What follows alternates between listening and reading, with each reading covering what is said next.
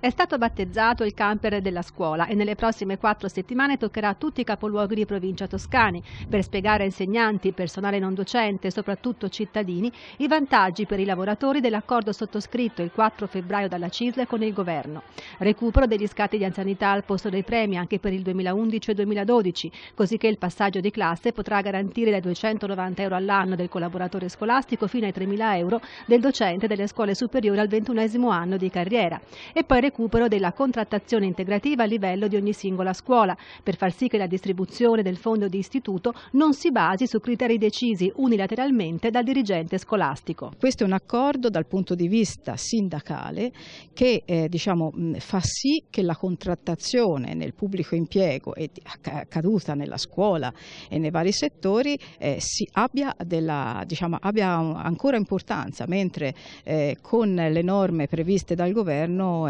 poteva venir meno questo tipo di rapporto con il lavoratore. La CISA conferma l'impegno anche contro i tagli al personale della scuola previsti dalla riforma Gelmini per il prossimo anno scolastico. Stando alle prime proiezioni si perderanno in Toscana quasi 1100 posti di lavoro soltanto per il corpo insegnante, soprattutto nelle scuole elementari e superiori.